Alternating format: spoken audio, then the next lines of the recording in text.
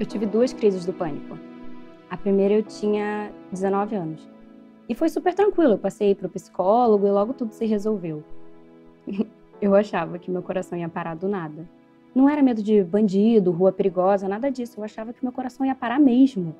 Se ele começasse a bater um pouquinho mais rápido, eu já achava que ele ia parar. Eu não tomava nem remédio, porque eu achava que isso também ia fazer ele parar mesmo. E a segunda vez já a segunda vez já foi pior.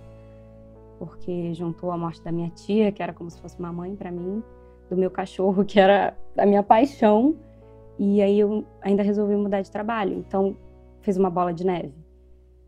E eu não queria dar trabalho para os meus pais.